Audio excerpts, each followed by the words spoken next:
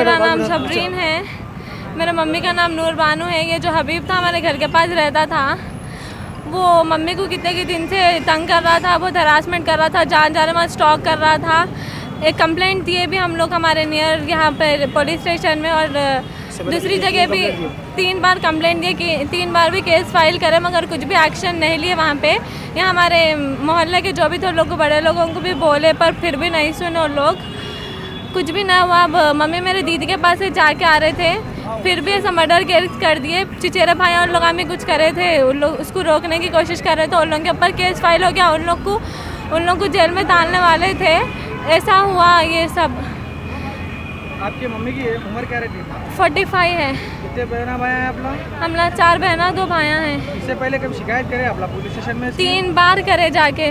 कैसा क्या रिस्पॉन्स मिला पुलिस कुछ भी रेस्पॉन्स नहीं मिला। जब का जब लेके गए फिर छोड़ दिए। आपके पप्पा क्या करते हैं आपके? पापा का इंतकाल हो गया। हाँ केबल ऑपरेटर थे उन्होंने one thirty friends cable network इनका हरासमेंट कितने टाइम से चल रहा था? वन ईयर से चल रहा कितने की बार बोले भी मोहल्ले वाले भी रोकने की कोशिश करे पर वो आदमी रुक रहा ही नहीं था। तो आप लोग कंप्लेन करने पे पुलिस वाले नहीं, नहीं सुने, कुछ भी नहीं सुने। करा। हम लोग की करे, हम लोग को के वो उसको कर। हम लोग के ऊपर। अच्छा। अब कंडीशन क्या करे तो मम्मी की कंडीशन बहुत सीरियस है। पूरा सर वही खुल गया हाथ वही टूट गया पूरा। सत्तूर से मारे गए थे पूरा। नाम शेख हबीब नाम है। उसको शेख नसीरुद्दीन के नाम से जानते हो? उन्हें क्या करते काम? नहीं मालूम बेकार नहीं फिरता। मालूम बेकार फिरता यहाँ औरतों के पीछे रहता। आपके बस्ती बस्ती के है हाँ, वाला का नाम क्या है? नूर बानू। मस्जिद सालीम के पास है। शादीशुदा है? नहीं नहीं। है नहीं है उन्होंने मैरिड है। हाँ। अच्छा उनकी एज क्या रहती? होंगे फोर्टी एट 30 फिफ्टी होंगे। थर्ट नहीं नहीं थर्टी होंगी। थर्टी थर्टी टू होंगे। बीस बत्तीस साल होंगे। ठीक है।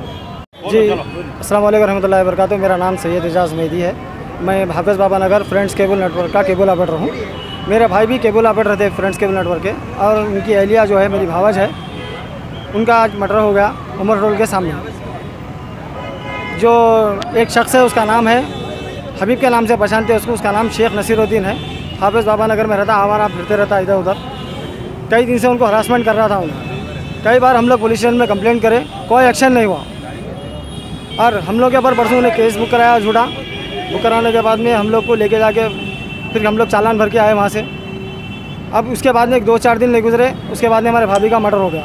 मर्डर हुआ अटेम्प्ट टू मर्डर हुआ? अटेम्प्ट टू मर्डर हुआ। अभी कैसी हालत है? अभी सीरियस में है अभी। अभी सीरियस कंडीशन है हॉस्पिटल में अभी इसी हॉस्पिटल में लोग कराए थे कंप्लेन इससे पहले कराए थे कंप्लेंट अब इस वक्त कंप्लेन पे कुछ भी एक्शन जी नहीं नहीं। उनकी कंप्लेन पे आपके ऊपर जी हो जी हो। फेसबुक हो गया भिजा दे रहे थे।